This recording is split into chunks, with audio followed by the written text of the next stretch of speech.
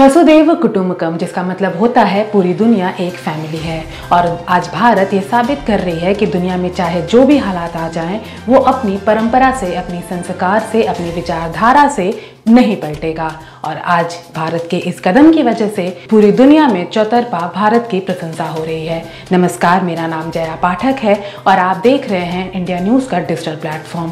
Corona महामारी के इस दौर में पूरी दुनिया की अर्थव्यवस्था की कमर टूट गई है। पूरी दुनिया कोई भी ऐसा मौका नहीं छोड़ रही है जिससे कमाई की जा सके।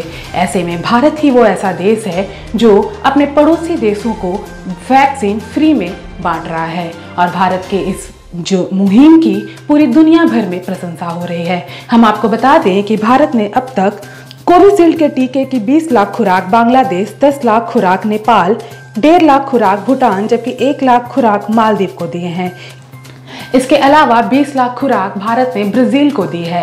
इसकी वजह से ब्राज़ील ने भारत की खूब वाहवाही की है।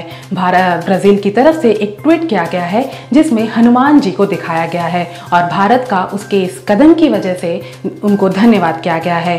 अब ये ट्वीट भी काफ़ी दिलचस्प है, जिसमें हनुमान जी को दिखाया गया है, संजीवनी बूटी की जगह वैक्सीन को उठाए हुए दिखाया गया है। अब ब्राज़ील के लिए ये वैक्सीन संजीवनी बूटी से कम भी नहीं है, क्योंकि ब्राज़ील में अभी कोरोना के मामले छियासी लाख से भी ज़्यादा हैं, जबकि मौतों का आंकड़ा दो लाख से पार जा पहुँचा है। ऐसे में भारत की ये वैक्सीन ब्राज़ील के लिए किसी भी तरह की संजीवनी बूटी से कम नहीं है। ब्राज़ील ही नहीं, अमेरिका ने भी भारत के इस मदद करने की जो परंपरा है, उसकी प्रशंसा कर रहा है। अमेरिका की तरफ़ से ये बयान दिया गया है कि भारत एक सच्चे दोस्त की तरह अपने कर्तव्यों का पालन कर रहा है। अब जब हम पड़ोसी देश की बात कर रहे हैं तो हम फिर यहाँ पाकिस्तान को कैसे छोड़ सकते हैं?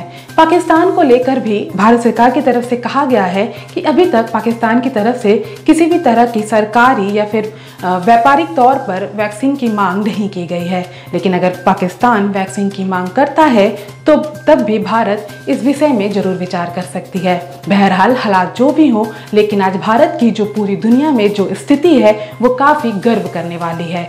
फ़िलहाल के लिए इतना ही। अगर आपको हमारा वीडियो पसंद आए तो इसे लाइक करिए शेयर करिए और चैनल को सब्सक्राइब करना ना भूलिए।